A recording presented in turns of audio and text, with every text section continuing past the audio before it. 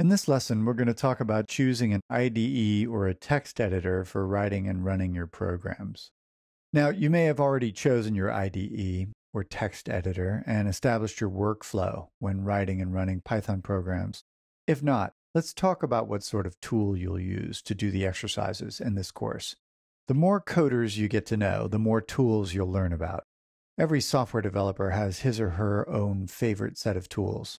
Writing code, however, boils down to choosing a text editor or an IDE. IDE stands for Integrated Development Environment, and it's really just a fancy word for a program that helps you write programs. An IDE is really just a text editor, but it's been integrated with a set of tools that makes it easy to write and run your programs. Your code is highlighted in a way that reflects the parts involved, and you may find that your functions are indexed so that you can easily jump from one function to another. Probably the most useful feature of an IDE is its debugger. This usually means a visual environment in which your program is being run, with a cursor appearing on each line of code as it's being executed. You'll have the opportunity to stop the code at any point, check the value of variables, and even manipulate the value of variables before resuming execution. It can be an extremely useful tool to have. In this page from Stack Overflow, a helpful contributor has listed out many of the features that we look for in IDEs, and then a list of IDEs that support each feature. Some of the more popular IDEs for Python are PyCharm, Komodo, and Eclipse, which is actually written specifically for Java but has a Python plugin. Most of the features on each IDE are pretty much the same. Really depends on what you're comfortable with and what you like. As far as a visual IDE goes, I prefer PyCharm. I like the way it looks and feels.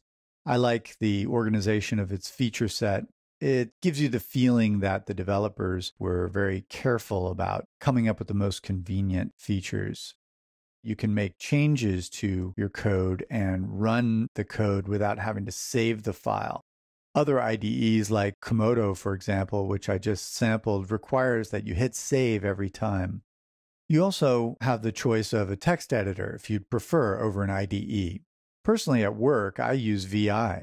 That's a simple text editor for Unix, but it has a lot of built in features and it's possible to configure to your own taste.